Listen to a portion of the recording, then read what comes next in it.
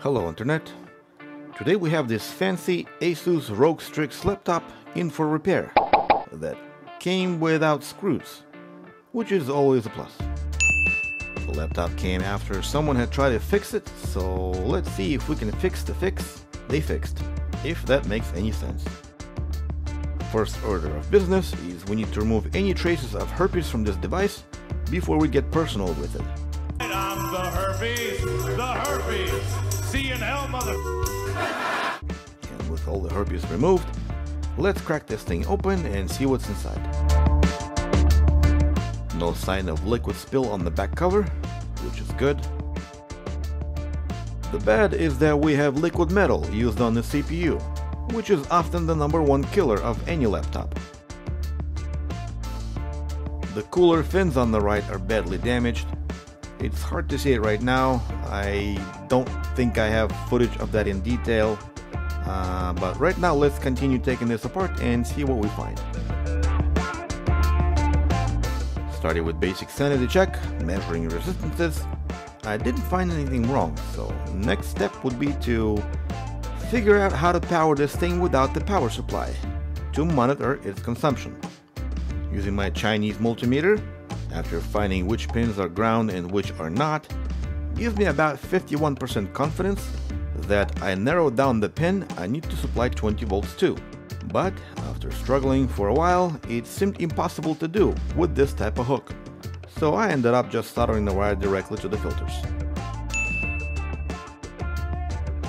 Before I power the board, a visual inspection can provide us with some useful information, such as this pin looks different from the rest some signs of corrosion near the NVMe slot, as well as the broken antenna socket.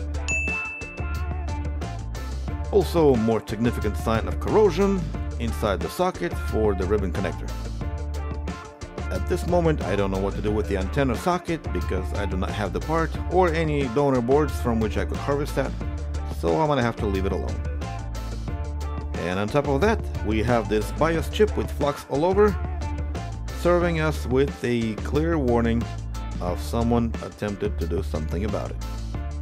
Once I got that cleaned up, I also went on the back side and there was one knocked off capacitor for the data line between the CPU and the GPU. And a missing capacitor here, which according to a completely different board view that I was able to find, uh, using the power of the brain deduction, I was able to deduce that the capacitor here is a filtering capacitor for 1.8 volt, and we can leave it alone. At that point, I think it is safe to power the board and see what voltages we have and where.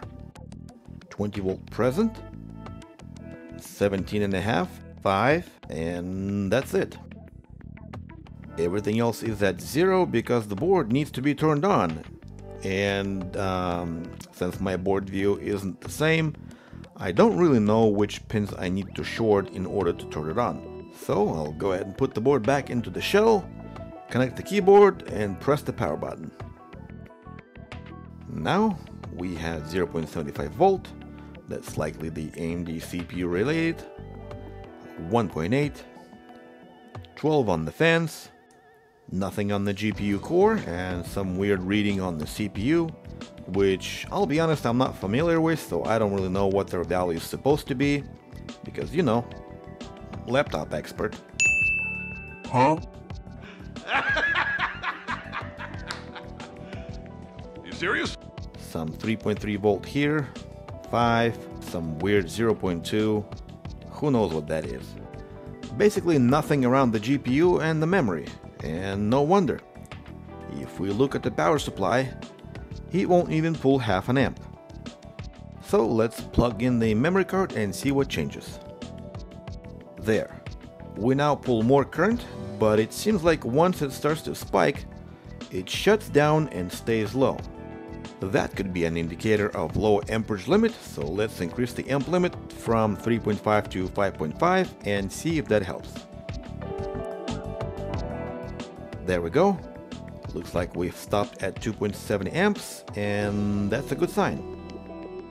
Now let's put the cooler back on the board, and at that moment I realized that the fans were a little dirty and I wanted to clean them. But they don't come apart to make that easy. Thumbs down for Asus doing this on a premium device like that. After assembling the coolers, the 20 volt wire is now short to ground, so I'll have to solder it away from the cooler before the filters. And try again. At which point this button suddenly decided to fall out and we're gonna have to order a new one and replace it later. In any case, powering the laptop and waiting for long enough produced no positive result. Screen remained black and it seems like the power just got stuck at almost 3 amps and that's it.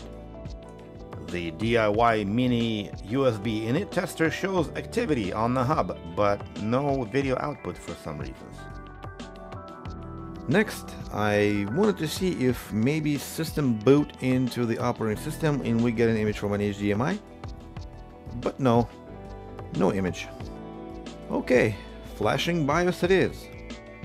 Most of laptop repair rookies go for BIOS, and since I am no better, let's do the same thing and see if that helps. At which point it is absolutely necessary to save the existing dump before flashing it with another one.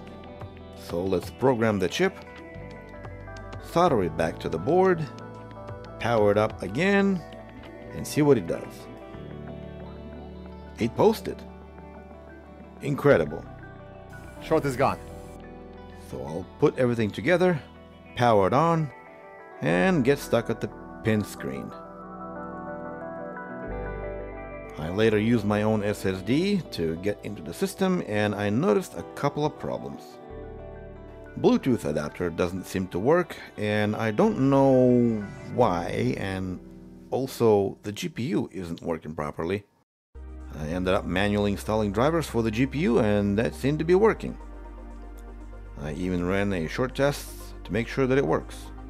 As for the Wi-Fi module and the button, I ordered them both and when they arrived, I put the module inside, replaced the button, at which point I already had access to the operating system for further testing. Turns out I didn't have to buy the Bluetooth flash Wi-Fi adapter to begin with.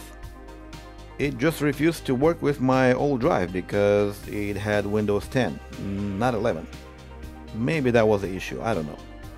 In any case, uh, I got lucky with this laptop and the owner actually had Steam account with lots of games available for me to test the GPU's performance. But I ran into one small problem where no sound was coming from the speakers. The sound came out of the speakers when the laptop boots, but not after the operating system loaded. I'm no audio repair expert, so all I could think of was maybe these diodes went bad? But no, I had them replaced and it made no difference. I still have no sound coming from speakers. I even replaced the audio codec chip, and to top that off, I cleaned the jack in the ultrasonic thinking that maybe it's corroded inside, but after soldering it back in place, still no sound. I later realized that this laptop came in at least 10 different variations. This particular laptop not only has 4 different submodels, but those models are also different depending on the year they were made, and I needed to know which one was made in 2022. With the correct firmware extracted from Asus website and flashed to the chip, the computer seemed to recognize a new device and the sound now works. Now remember the condition in which the laptop came in and the list of problems I had down the road, some of which were caused by my lack of experience. But in the end, everything was fixed with the exception of Wi-Fi antenna connector, which I didn't have at the time. Every step of this repair was communicated to the owner and somewhere along the lines of nearly 100 emails, I forgot to mention that I was going to leave the Wi-Fi antenna alone.